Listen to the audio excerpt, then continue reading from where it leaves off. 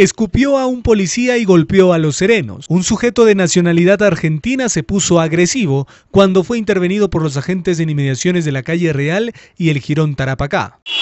¡No saben hacer policías! ¡Eh, loco! ¡Ah! ¡Eh, me están pegando! Te... ¡Me pegan! ¡A mí no me pegan! ¡Hijo qué! El ciudadano argentino de 30 años, que se dedica a hacer malabares en la vía pública, se encontraba en estado de ebriedad, alterando el orden público. El sujeto fue intervenido por los serenos y al ver su actitud agresiva lo capturaron. Sin embargo, el individuo, lejos de tranquilizarse, empezó a lanzar groserías e incluso escupió en el rostro a un policía cuando le pidieron que se calme. ¡No saben hacer! ¡Eh, loco! ¡Ah!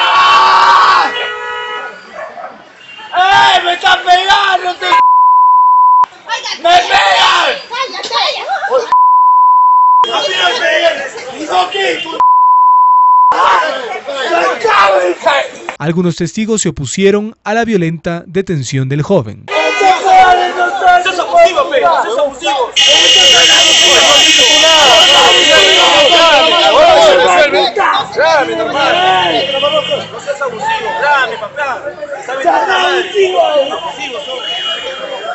El sujeto completamente alterado gritaba y golpeaba a quienes intentaban calmarlo y fue trasladado a la comisaría de Huancayo donde intentó incluso agredir a un agente del serenazgo.